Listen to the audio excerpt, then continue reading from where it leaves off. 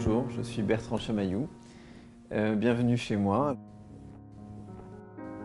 Euh, mon projet de berceuse, qui s'appelle Good Night, il est venu dans ma tête il y a très longtemps, bien avant que j'ai des enfants, tout simplement parce que j'adore les berceuses.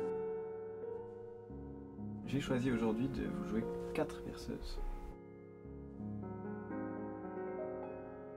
Ce sera quelque chose d'unique, vraiment.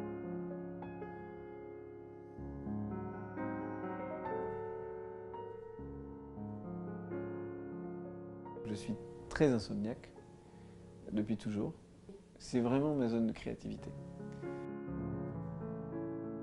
Beaucoup de gens ont connu ces moments où on a un petit peu plus de mal, on réfléchit à des tas de choses. On passe par des anxiétés, par du réconfort. Les compositeurs avaient chacun à leur manière traité ça. Chez Chopin, c'est une grande tendresse. Chez Liszt aussi, avec des passions qui arrivent, fugaces comme ça.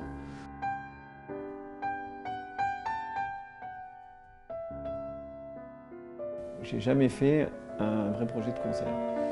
Parce que typiquement, le théâtre des Champs-Élysées, par exemple, je trouve que c'est une salle beaucoup trop grande pour un projet comme ça. Mais à la maison, c'est très bien, finalement. C'est parfait de faire ça.